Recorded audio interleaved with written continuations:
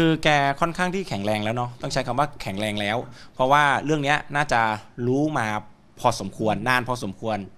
นะครับ ใช้เวลาทราบเรื่องนานพอสมควรก็คงทำใจพอสมควรแล้วล่ะ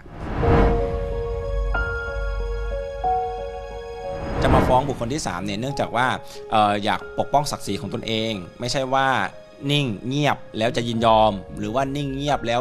จะไม่ทำอะไรเลย เป็นรูปถ่ายแล้วก็พวกคลิปวิดีโอที่เกินเลยครับ ก็คุยตัวเลขกันอยู่ที่ประมาณ 10 ล้านครบหลังถูกไหมฮะ แต่ว่าเท่าที่เท่าที่ฟังส่วนนี้ที่แยกกันอยู่เนี่ยน่าจะส่วนนี้เป็นสาเหตุหนึ่งในการแยกและน่าจะเป็นสาเหตุหลักด้วยปล่อยมือฉันให้จบกันไปจะดึงจะยื้อไปเพื่ออะไรเมื่อเธอ ได้มีพี่จูนนะครับได้มาขอติดต่อสอบถาม แล้วก็ปรึกษาข้อกฎหมายนะครับ เกี่ยวกับการจะฟ้องอบุคคลที่ 3 ที่เขามายุ่งเกี่ยวนะครับ ผมก็ให้คำปรึกษาไป แล้วก็ได้ตรวจพยานหลักฐานเบื้องต้นนะครับ เบื้องต้นที่ที่เป็นรูปถ่ายนะครับกับคลิปวิดีโอนี่แหละครับ ก็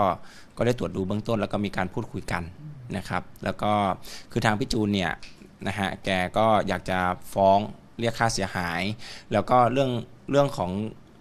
อยากปกป้องศักดิ์ศรีของตนเองอะครับสิล้านนี่คือเป็นตัวเลขที่คุยกันนะครับกับผมระหว่างผมกับพี่จูนแล้วก็เสนอทางข้อกฎหมาย แล้วก็มุมมองของศาลแล้วก็แนวทางพิพากษาที่เคยปฏิบัติมานะครับว่าจะได้ประมาณไหนนะครับก็คุยตัวเลขกันอยู่ที่ประมาณ 10 ล้านนะครับคือเป็นรูปถ่ายแล้วก็พวกคลิปวิดีโอที่เกินเลยครับตามหลักกฎหมายทั่วไปก็ต้องใช้ประเภทนั้น เขาไม่ได้ฟ้องหย่าแต่ว่าจะมาฟ้องบุคคลที่3เนี่ยเนื่องจากว่าเอออยากปกป้องศักดิ์ศรีของตนเอง ไม่ใช่ว่า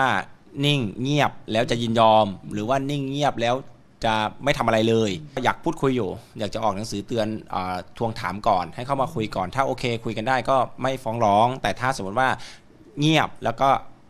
ไม่ติดต่อไม่อะไรเลย ก็อาจจะต้องฟ้องร้องอะครับ คือแกมาก็แนวทางของแกก็คือฟ้องอยู่แล้ว ฟ้องอยู่แล้วแน่นอน แต่เพียงแต่ว่าผม ในความที่คนให้คำปรึกษาก็บอกว่าถ้ามีทางคุยได้ พร้อมที่จะคุยไหมเจรจาไหมแต่ถ้าไม่ได้มาตรฐานเอ่อขั้นสูงสุดเนี่ยของเราก็คือฟ้องอยู่แล้วอย่างเงี้ยครับก็มีสิทธิ์ที่พูดคุยได้ครับ แต่ทั้งนี้ทั้งนั้นเนี่ยการหย่าจะต้องตกลงกันทั้งคู่นะครับทั้งคู่ก็ต้องฟังฟังพี่จูนด้วยว่าพี่จูนจะเอาด้วยไหมอย่างเงี้ยครับผมก็สอบถามเรื่องการเงินอยู่เหมือนกัน ว่าเอ่อแล้วใครช่วยเลี้ยงเลี้ยงดูไหมอ่าทางพี่หนุ่มเอ่อ ทางผู้ชายอะช่วยเลี้ยงดูไหมนะครับ ก็แกก็บอกว่าช่วยเลี้ยงดูเงินทุกอย่างเนี่ยก็ส่งมาที่แกจริงนะครับ แกก็บริหารจัดการจริงนะครับ ก็มาใช้จ่ายในลูกจริง